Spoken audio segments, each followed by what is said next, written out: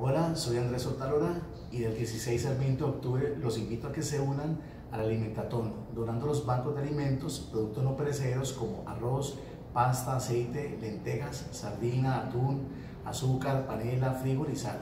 Con tu aporte se beneficiará más de 582 mil personas en situación vulnerable.